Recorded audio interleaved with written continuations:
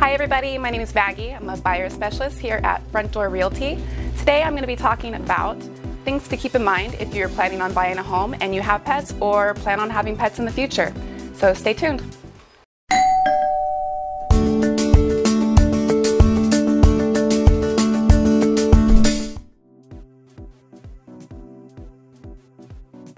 The first thing to consider are your local pet laws. Even when owning property, that doesn't necessarily guarantee that you're allowed to have the pets you want to have.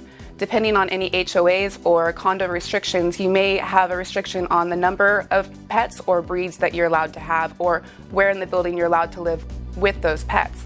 Also, if you have a breed of dog that barks excessively or loud, you also may want to check with your HOA or city ordinances for any noise restrictions. Secondly, what's the deal with the yard and fencing? Having a large yard for your pet to roam in is amazing, of course, but keep in mind if you want to keep your pets in and other critters out, you're going to need a stable fence.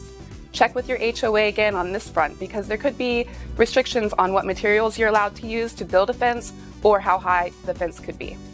Third, and very importantly, how are your pets going to exercise and play? With dogs, finding a location that's good for walks is going to be key. That might mean, mean being closer to a park or um, just the fact that your neighborhood has sidewalks, especially in climates like ours that get a lot of snow. You don't want to be trudging through snow in the street.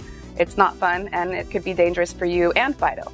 Also, make sure that there's not a lot of heavy traffic in the area. That can be dangerous if your dog tends to get out a lot or if cats um, like to roam and be free range cats. Fourth, and people forget this all the time, does the house have pet friendly floors? Solid hardwood floors is a great way to go because you can always restain them if any scratches happen to arise. And um, also, if you're putting in new floors, it's a good thing to consider putting in um, reclaimed wood so that any scratches kind of blend in with the charm of the natural wood. Um, what to avoid? Definitely wall to wall carpeting for obvious reasons. Next, consider the floor plan and if that's pet friendly. Um, is the space that you're going to be moving into large enough for the number and breeds of animals that you have? If not, you're going to get tired of tripping over your animals all the time very quickly. And finally, is your pet going to be able to handle any stairs?